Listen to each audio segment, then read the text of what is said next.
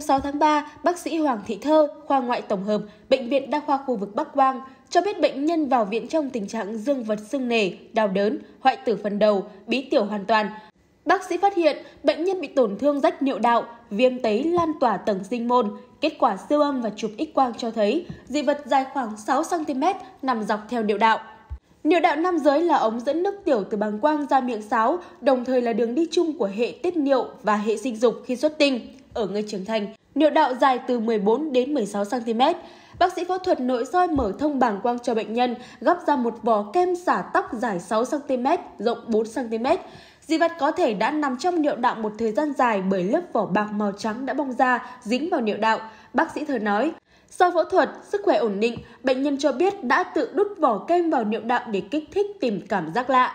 Bác sĩ cho biết đây là trường hợp dị vật hiếm gặp nếu không được can thiệp kịp thời có thể dẫn tới nhiễm trùng niệu đạo, ảnh hưởng tới chức năng khác của cơ thể.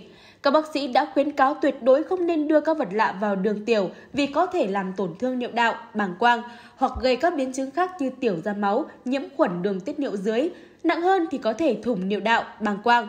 Nhiều người cũng dùng những dụng cụ rất nguy hiểm như đũa, thanh sắt nhỏ đưa vào dương vật, khiến niệu đạo tổn thương nặng nề. Khi có triệu chứng tiểu khó, tiểu gắt buốt, tiểu ra máu, bí tiểu, người bệnh đến cơ sở y tế để khám và xử trí đúng cách.